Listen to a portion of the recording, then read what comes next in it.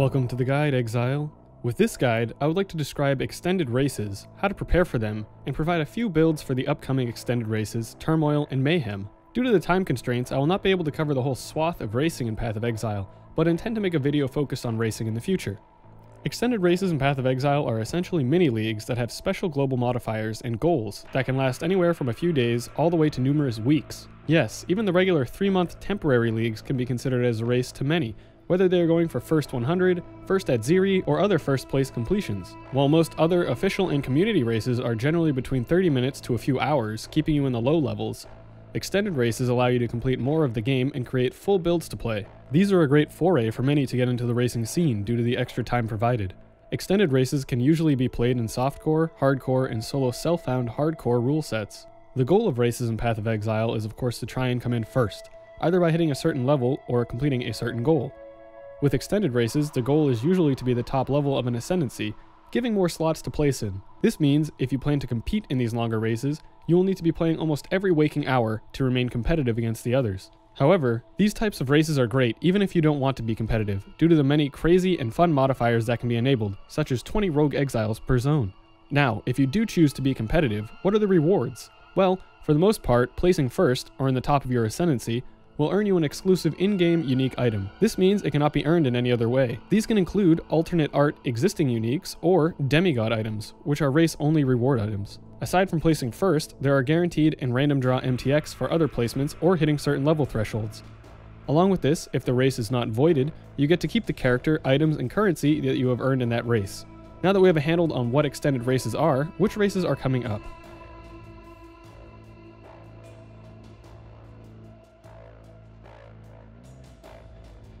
Turmoil and Mayhem are 10 day races that were introduced in patch 2.6 during Legacy League. These races are a compilation of numerous previous leagues all crushed into one race, similar to a flashback race. Each zone will have an amped up version of a single league modifier active, and every hour, the league modifier will randomly change to a new one. This means for one hour you could be clearing 10 breaches in a channel map, and the next hour duking it out against 20 rogue exiles in another channel map. This makes for some great fun and massive amounts of loot, especially when starting out the race and you get bombarded by 20 invasion bosses on the coast.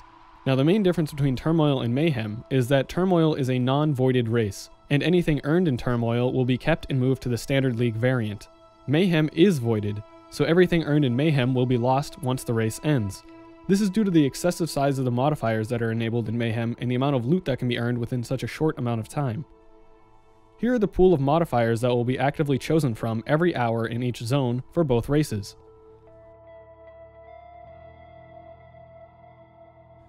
As you can see, the Turmoil modifiers are much more tame and distributed in comparison to the Mayhem modifiers. However, since both leagues will be occurring at different times, Turmoil on November 10th and Mayhem on November 24th, you can try out both. I highly recommend trying out both races, and especially the Mayhem race due to the insane modifiers that are active. Even though it is voided, the race is insanely fun, even if you are not keeping your items or competing. So before we dive into builds, let's take a look at some general tips for these races.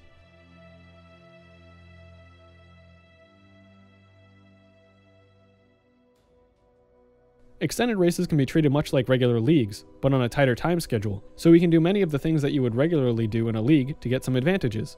As long as you are not solo self-found, you can partake in trading, so you will most definitely want to set up some public stash tabs and sell any decent rares, uniques, and quality skill gems you find. Many people will be looking to get that next advantage, and this will give you some spending currency to get yours. In these races, it is generally not advised to create or perform labyrinth farming, as you can get much better returns from just interacting with the race modifiers. You can farm the Blood Aqueducts in Act 9 not only for experience, but for the Humility Divination card to get a Tabula Rasa. You can farm Rogue Exile zones for unique drops, the lower level the zone, the more restricted the drop table is, making getting a tabula or low level common unique very probable. In Mayhem, strongbox zones are some of the best for experience gains. Breach is also great in both, just a bit slower due to only being able to open one breach at a time. Perandus zones can have a very high reward rate, not only from the chests, but from Kadiro as well, so make sure to be doing your Perandus zones where applicable. So now that we have a few general tips on what to do on the race, what are the types of builds that we should be planning to play? Well, let's take a look at what we intend to complete.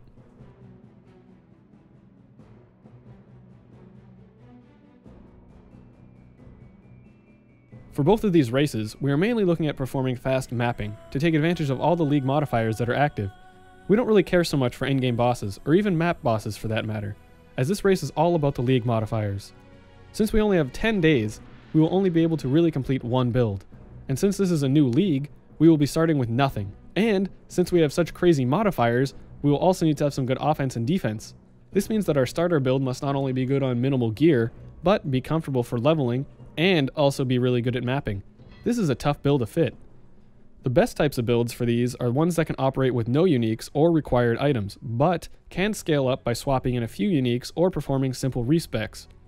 Luckily, as these races have so many modifiers and increased drops, you will be able to get many of the unique and item drops during your own gameplay without any trading. This can lead to you getting some decent build enabling or enhancing items. Of course, if you are playing non-solo self-found, you will be able to trade for items during the race. However, be aware that the prices may be skewed all over the place simply due to it being a race. Great builds to consider are patch viable league starters. You can look for builds in various locations, but YouTube and the Path of Exile official build forums make for great places to start. Here I will list some general build archetypes with some example main skills, as well as including links to related build guides in the written guide. These build archetypes are listed in order of easiest to hardest to get going. First up are spell builds. Spell builds are great in that they require almost zero gear, no special weapons, as they gain damage based on the gem level, and have great clear speed options. The only issue that you can run into is gathering proper leech and mitigation in the top portion of the tree, however, there are many options for shoring up these problems such as curses, auras, and mind over matter to name a few.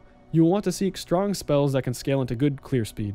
There are three main categories of spell-based builds, self-cast, totems, and mines and traps. For self-cast, you will be casting the spells directly. Some good self-cast options include For totems, they will be doing all the work for you. Some good totem options include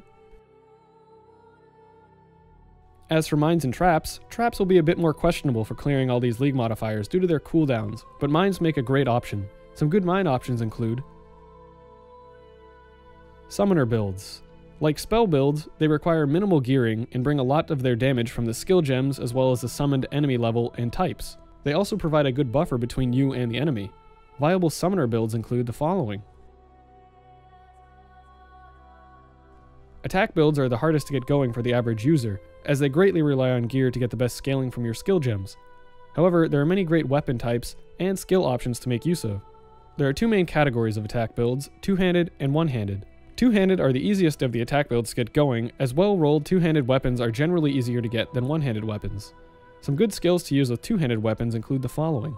Cyclone is a great standout here, as you are able to deal damage while moving. This skill can be used amongst many of the classes and makes for a great option. One-handed builds are a bit more difficult to get working, but can have some great power once you reach the appropriate gearing. Some good skill options to use with one-handed weapons include I generally do not recommend starting as a bow-based character, as it can be very rough, especially for newer players. If you do feel like you can pull it off, by all means go for it. There are of course many, many build variations that you can do with each archetype and skill. I only provide simple options for each.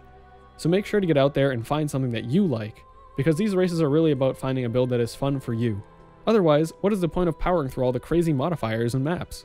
Now let's get into two simple builds that I have created and can operate on next to no gear and power through maps.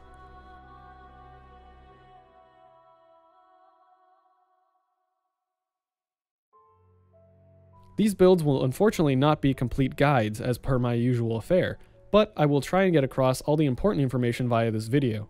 Remaining information for the builds, such as leveling tips and example gear, can be found within the written script and path of buildings for each. Here I have designed two builds that can operate on a shoestring budget, making use of only rare gear that can go really fast through maps. They can also make use of common uniques such as a Tabula and a Brightbeak very comfortably, even with other mediocre gear.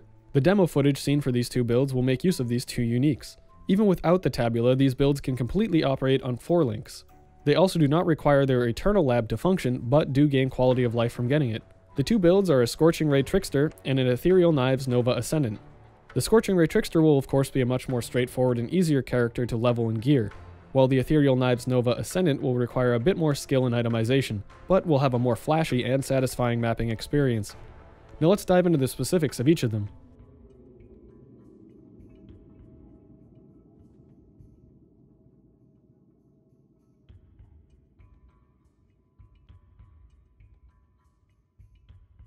The Scorching Ray Trickster makes for a solid leveling and mapping build. It is very easygoing in terms of gearing and has very powerful damage output even with the weakest of gear. The goal of this build is to max out Scorching Ray's cast speed turn rate and get shield charge going as fast as possible to zip around maps, while whirling in circles as we go. Offensively, we are making use of the skill Scorching Ray to deal damage. Since Scorching Ray is a debuff and does not hit, we can easily make use of a few powerful keystones. Elemental Equilibrium can be used to lower enemies' resistances by 50%. We can proc this by using an Orb of Storms, or lightning or cold damage to attacks on a gear piece, and proc it with our shield charge. It will only need to be procced once per enemy since we never hit them with any fire damage. We also take Elemental Overload since we cannot scale critical strikes as we do not hit, granting us 40% more elemental damage. We also grab Whispers of Doom to apply two curses to our enemies. Vulnerability will be our offensive curse. From our Ascendancy, we also generate Frenzy charges and Power charges, both of which provide us increased damage over time on top of their normal benefits. Defensively, we are making use of Mind Over Matter and the strong interactions the Trickster has with it. Arctic Armor, Fortify, Enfeeble Blasphemy, and Flasks are used for flat mitigations.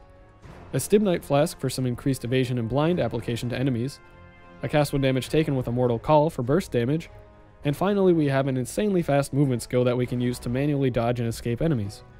As for playstyle, you will simply be shield charging into packs to get your Fortify, pop your flasks, quickly sweep over the enemies with your Scorching Ray, and move on to the next pack. If you require more damage, you can simply throw down your Orb of Storms. As stated previously, we make use of the Trickster Ascendancy. This class gives us some very powerful buffs for our damage over time, movement skills, attack, and cast speed, as well as life and mana regeneration. For our Ascendancy progression, I would follow this order.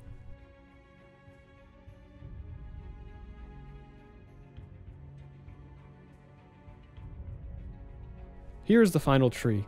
Leveling trees can be found in the description and written guide. For bandits, you can either go with Kraityn or kill all of them.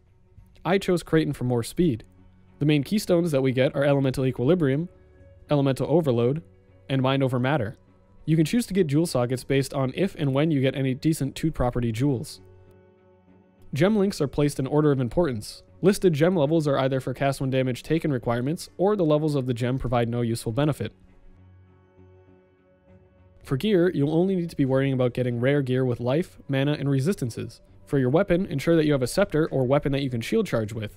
As mentioned in the summary, you can also look for getting lightning or cold damage to attacks on your gear to trigger elemental equilibrium with your shield charge.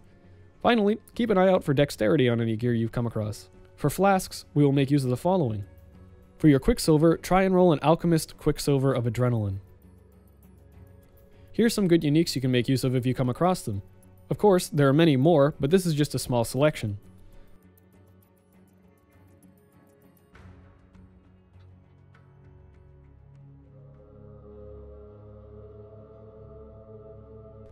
The Ethereal Knives Nova Ascendant makes for a really fast and fun mapping character. As stated in the introduction of these builds, this one will require a bit more skill and finesse to get going, but nothing too crazy. We will be converting from physical to cold by means of Winter Spirit in the Hrimsorrow gloves, like the cold conversion Spectral Throw Raider, as well as using the Ring of Blades Jewel to alter the ethereal knives from a cone to a 360 degree nova.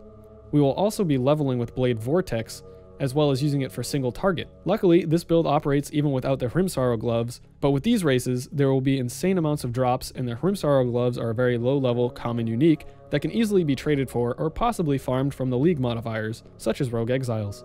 Offensively, we are going to be using Ethereal Knives for our map clearing skill. A Blade Vortex will be used for better single target if it is felt necessary. With the Scion Ascendant, we will be getting the Assassin Ascendancy to scale our damage through critical strikes and multiplier. And the Raider Ascendancy for onslaught and frenzy charge generation and management. Frostbomb, Vaal Haste, and Arcane Surge are used to gain more damage and speed. Finally, we have a wonderful Shatter Explosions from Herald of Ice. Defensively, we make use of the Freeze and Shatters to make most of our enemies completely inert. Evasion and dodge are used to completely avoid damage. Evasion is gained from blind, flasks, and gear. Dodge is gained from our Ascendancy, Acrobatics, Flasks, and Atziri Step Boots if we end up getting those. For flat mitigations, we have Endurance Charges, Fortify, and a cast when damage taken with a Mortal Call. Vaal Pact and Life Leech are used to quickly replenish our life pool. And finally, we have an insanely fast movement skill that we can use to manually dodge and escape enemies. As for playstyle, you will simply shield charge into packs to get your Fortify, pop your flasks, blow them up with your ethereal knives, and move on to the next pack. If you require more damage, you can simply throw down your frost bomb, and if you really need focus damage, you can rev up some blade vortex stacks. As stated previously, we make use of the Scion Ascendant Ascendancy, with focus on the Ranger and Shadow.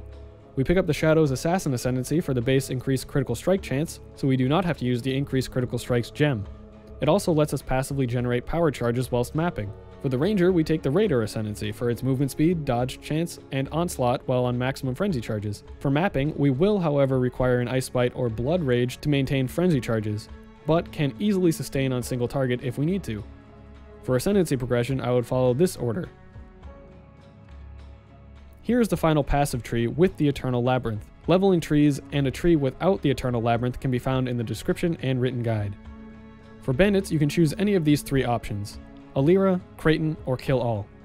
I chose Kraityn to go extra fast, but Alira makes a very good option as well for her critical multiplier and elemental resistances. We will be placing the Ethereal Knives Threshold jewel in the jewel socket just above the Ranger. The main keystones that we get are Acrobatics and Vaal Pact. You can choose to get jewel sockets based on if and when you get decent 2 property jewels. Gem links are placed in order of importance. Listed gem levels are either for cast when damage taken requirements, or the levels of the gem provide no useful benefit. For this build, you can make use of two main skill setups, a 6-link Blade Vortex and a 4-link Ethereal Knives. This is good if you plan to kill beefy single targets. Otherwise, you can make use of a 6-link Ethereal Knives and no Blade Vortex. This is good if you plan to just clear basic map monsters and get some single target. You can place whatever utility you want in the remaining 4-link. For gear, you will only need to be worrying about getting rare gear with life and resistances. Like with the Scorching Ray Trickster, look for a dagger or scepter that you can shield charge with if you are not using a Brightbeak. Also look for strength on items. For flasks, we will be making use of the following. For your Quicksilver, try and roll an Alchemist Quicksilver of Adrenaline. Here are some good uniques that you can make use of if you come across them. Of course, there are many more, this is just a selection. Well, that was a lot of information, and more than I was planning to include in this guide. I hope that it has given you an idea on what the basic form of these types of races are, and how to go about preparing for one, along with getting you set up with a good build for them. I'm looking forward to these races and all the mayhem that they will spur on. Thanks for watching, and I'll see you in the races, Exile.